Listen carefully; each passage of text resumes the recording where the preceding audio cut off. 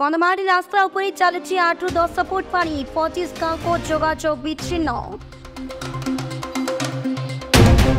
কন্দমার্চায় লকানা বর্ষা জারি লকানা বর্ষা ফলে পঁচিশ গাঁকে যোগাযোগ বিচ্ছিন্ন হয়েছে সূচনা যোগ্য যে রাজ্যের লঘুচাপজনিত লকানা বর্ষা জারি রয়েছে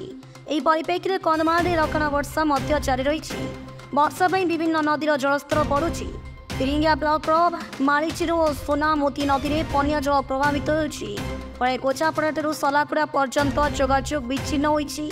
রাস্তা উপরে আঠেরো দশ ফুট পানি প্রভাবিত হয়েছে কোড়ি কোড়িরু পঁচিশ গাঁকু যাতায়াত সম্পূর্ণ টপ হয়ে যাইছে bureau report news Lakshmi seven